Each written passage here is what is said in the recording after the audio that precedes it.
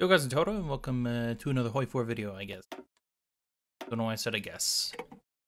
But we're going to be playing the Soviet Union today because I have another achievement tutorial to do. I mean, if that wasn't obvious. Alright, so we're going to be doing the Warsaw Uprising. So I pretty much just, we're going to be...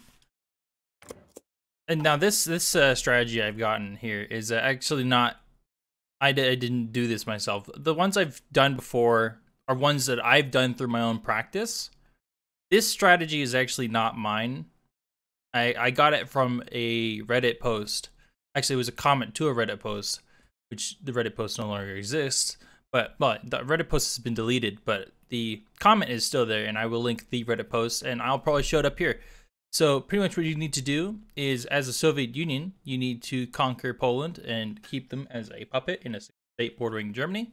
You need to then declare war on Germany with Poland as your puppet, then have Germany annex them and have resistance at maximum Poland.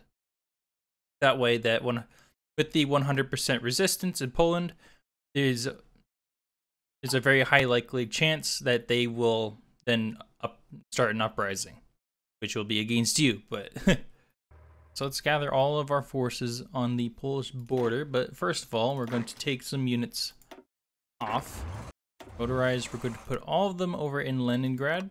The rest of our infantry, we will divvy up. So this force is going to be over in Leningrad as well. We're just going to give them their own army group, and these three will be there. We put the tanks in that army group. Grab the electronic mic whatever. Base machine tools. And I'll actually be switching to trench warfare.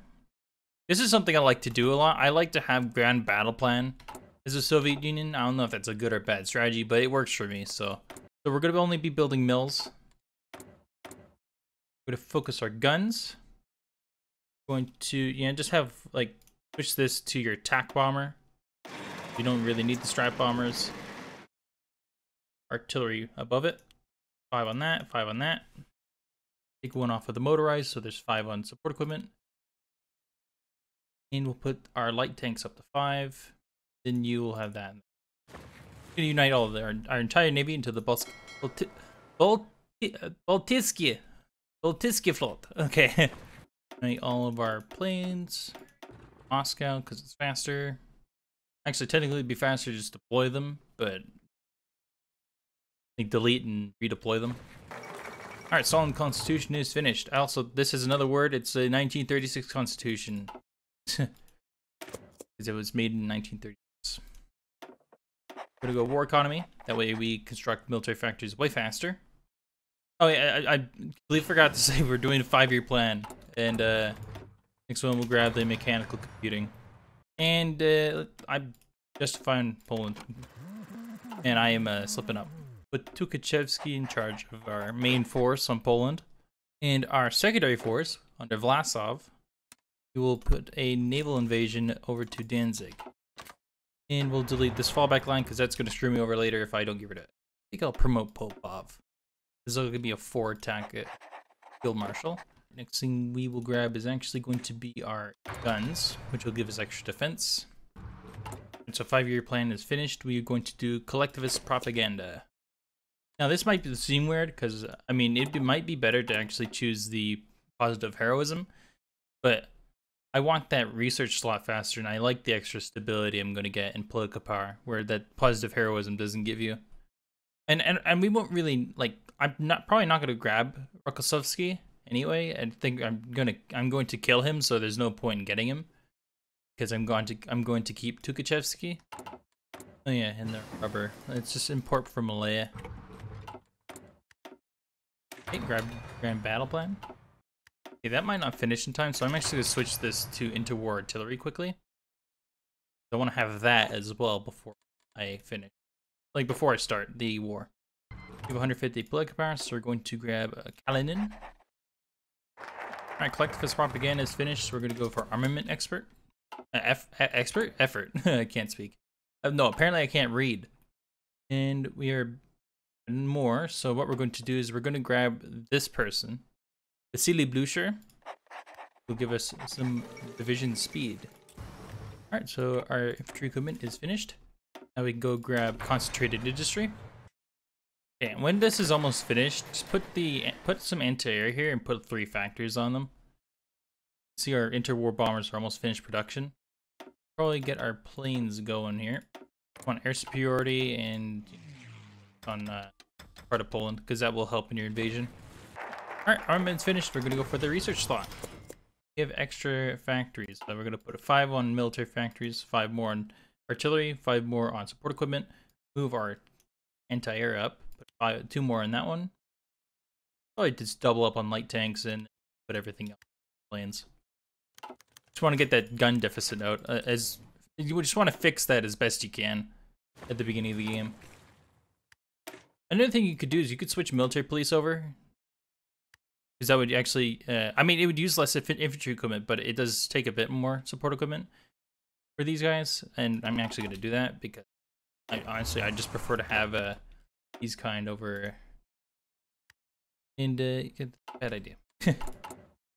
Alright, so put our navy on naval assistance. And yeah, why not? We'll do uh ground pounder, this person. Set them to go, we'll set them to go as well. And we'll declare war. The reason why I'm telling these guys to go down here is because they'll pin them down and we have give our we give our units over here time to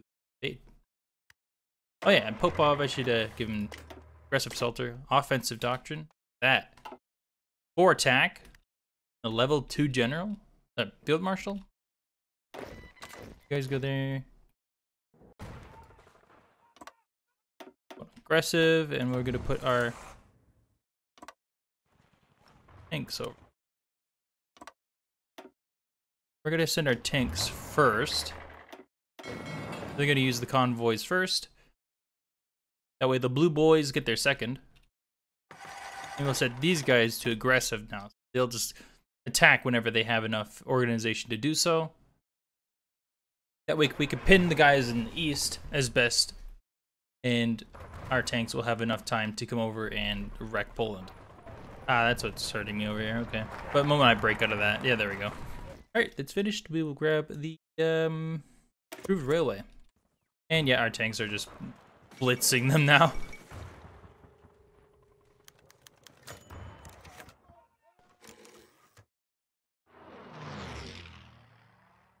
This is why I never rely on this front. I always have a naval invasion to kill Poland because it, it's so much faster to just kill them through a naval invasion.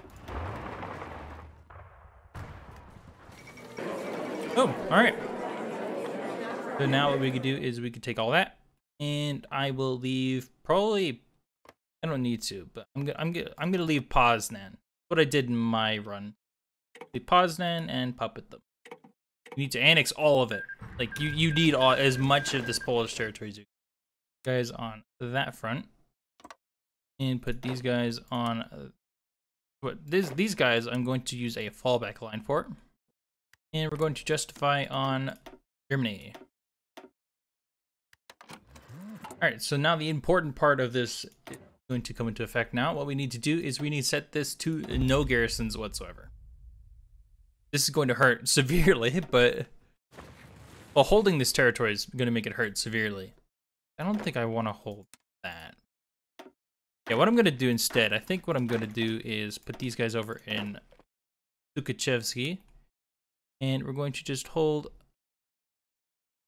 that. How about that for a front line, huh? Oh yeah, and uh, once this war is finished, you can go and switch over to your civilian production.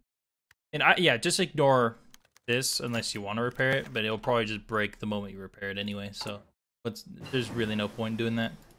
All right, so let's get our concentrated industry, and we will get improved machine tools.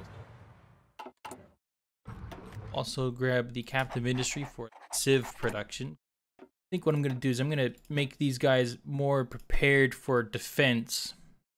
So I'm going to give them that and probably a motorized recon. Don't have any armored cars. And I'll just tell them, hey, train. Oh, and not aggressive. That, that's bad. They're aggressive.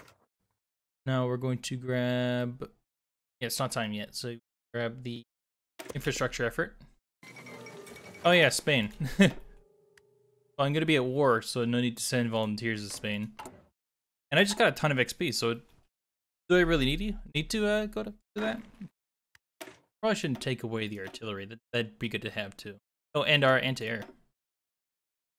There. And why not? I'll just deploy them immediately. Infrastructure effort's over. Now we're going to do the Great Purge. Even though technically this should not be called that. It should be called the uh should be called the Moscow Trials, but whatever. Instead of the Great Purge, because the Great Purge was the Western name of it. Grand battle plan's finished. We will now go grab prepared defense. drop this down to 20. That way more gets put into our other piece of equipment. And I'm going to take those off of artillery because we need a lot more support equipment. Ooh, I almost clicked the wrong one by accident because uh, they just popped up randomly. We'll do Khrushchev. See ya. Oh, thank you, Hitler. I don't know why you gave me stuff, though. You hate us. Eh, yeah, no time to do. No point. Alright. That was a great, that was a great, uh, thing you did for, here, let me, let, let, me, uh, let me repay it back. Hey, you, uh, Poland getting here. Oh, look at all that resistance. Just, just kill them. just kill them. Oh, thank goodness. Yes, they've started to move in.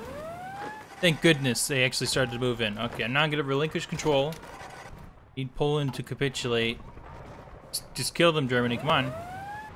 The AI doesn't like if if they don't win within like 10 days, they they just give up. They they stop attack. I don't get it. They hardly ever attack for like long periods of time.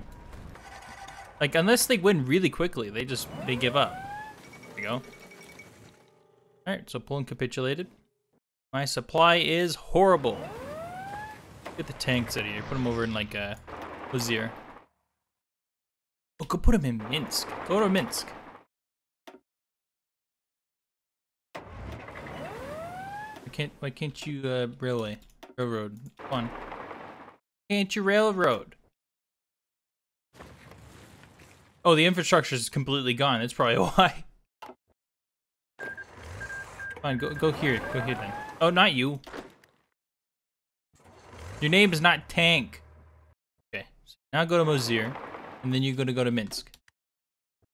They still won't reload. I'm done.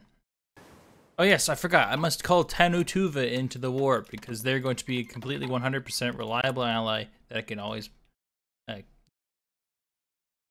give them control of a. St I don't control any states. Why is that an option?